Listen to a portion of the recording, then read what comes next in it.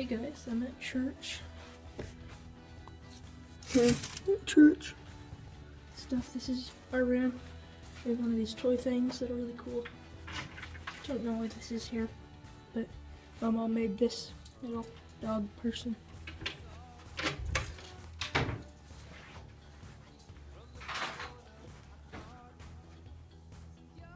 Kind of.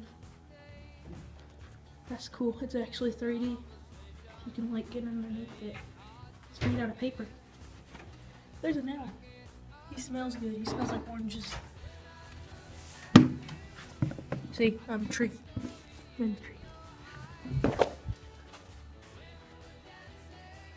TV. You know, usual church stuff.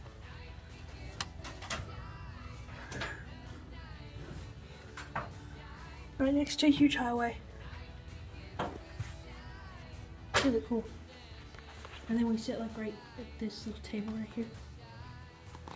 That's where we sit, and the kids just sit at those round tables. We have like 20 minutes until they come. We're pretty early. There's the church bus. Here.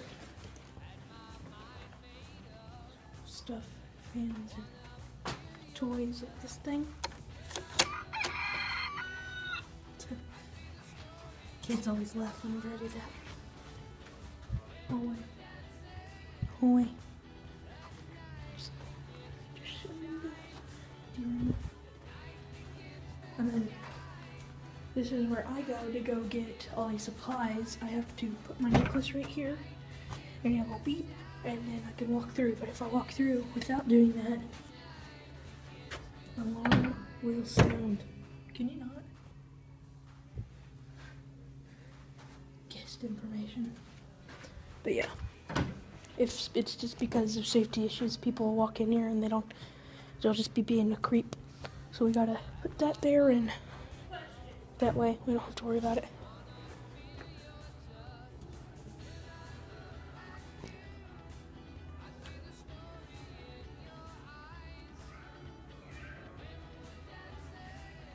You know, whenever we had to crash, oh, I tell you guys that? I had a crash on the bus, the stop sign went through the window. I was here on the day that we were watching the movie, but I left to go home to take a nap because I was really tired. Sounded like a gunshot. I don't know if I told you guys that yet. Ooh. Yeah, that's the church video for today.